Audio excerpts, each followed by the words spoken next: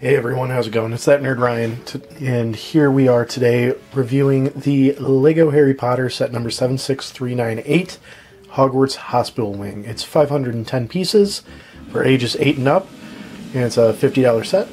Um, and it comes with four minifigures being Ron, Hermione, uh, Ron, Hermione, Harry, and Madame Pomfrey. You also get a owl there. Um, so let's look at the back really quick. I did start building it. I haven't finished it yet, but uh, comes with three sections, four really, and um, some really cool stuff. You could make the clock turn and stuff like that. So let's take it out of the box, build it,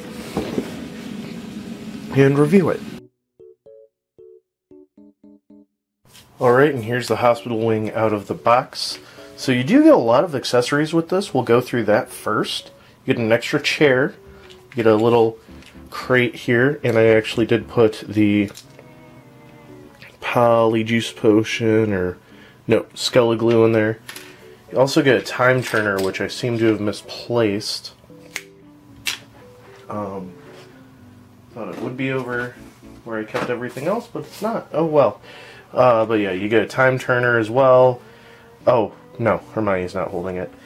Um, a little covering drape, um, some popcorn, or no, those are the gummies. Sorry, or the jelly beans. Uh, you get a lantern.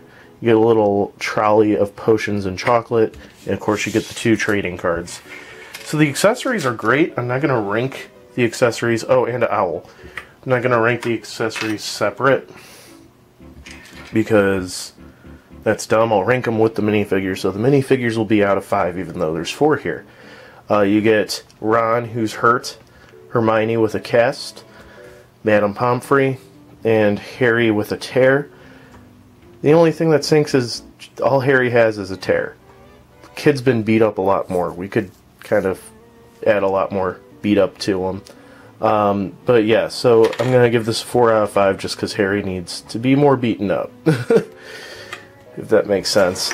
But yeah, so let's talk about the clock tower now, or I mean the hospital wing. So this actually has a feature where you can turn the time, which is really cool. Um, and it also has a feature where you could change it from the straight edge I'll show you how to do that when we switch the back to being more like that which is rather cool. Um, let me fix that up so I could show you how to do it on the back once we switch it around. And then we could switch around. So this top piece comes off and can be put anywhere. Um, all that's there is just a big gear because twist it. And then we got three beds here and some drawers with some flowers and everything. So yeah, I mean it looks pretty nice. Looks like a hospital wing. And then you take this piece off, and that's how you do the uh, the fold out.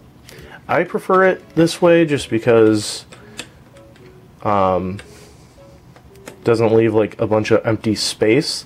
However, when I put it with my Hogwarts, we'll see how that uh, goes. You also get candles here, which is pretty cool.